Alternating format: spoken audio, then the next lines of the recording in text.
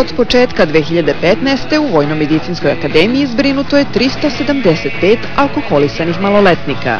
Svi oni našli su se na krevetu Nacionalnog centra za kontrolu trovanja.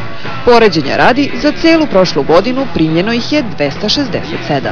Taj broj svakim danom nama pred očima uvećava. Ja sam lično imao jednu pacijentkinju 14 godina pre nekoliko dana koja je pri dolasku imala alkoholemiju u krvi od 4,34 promila mnogi lajci no, znaju da, da se u, u literaturi internetu već može pronaći da je pet smrtna doza, onda možete zamisliti kako je to kad neko ko ima samo 14 godina, slabe konstitucije, ima toliko veliki koncentraciju alkohola u krvi koliko je morao popije.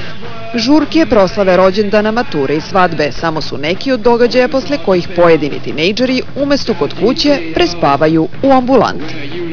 Jako je ružno kad vidite mladu, doteranu devojčicu od 14-15 godina koja kod nas dođe pijana, kako nas narod kaže, čak i iscepana, e, ispovraćana i tako dalje. To su neke slike koje, koje nažalost, mi svakodnevno viđemo, a opet ruše potpuno, potpuno ta, tu sliku o mladim ljudima koji treba da predstavljaju budućnost neku našu.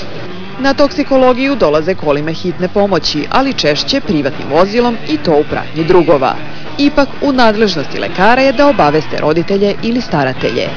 Iako su najčešće zabrinuti i reakcije roditelja razlikuju se od slučaja do slučaja. Nekada su to e, pojedinačni ispadi i to je čini mi se lakše za, za, takav problem rešiti. Međutim, ukoliko se to ponavlja, to već predstavlja polako ulazak i u hroničnu bolest, u hronični alkoholizam, čak i u tim godinama. Mi smo imali dečake od 18 godina koji su hronični alkoholičari, za koje se zna. Uh, verujte mi da tu onda imamo problem sa roditeljima, kod takvih roditelja nailazimo na problem u komunikaciji. Na, e, takve roditelji ne žele da dođu po svoju decu, takve roditelji ne žele da pruže pomoć i to onda predstavlja veliki problem. Porast broja maloletnih lica na toksikologiji zabrinjavajuća je tendencija, koja nije samo zdravstveni, već socijalni problem i zahteva rešavanje od strane svih struktura društva. Ipak su oni naša budućnost.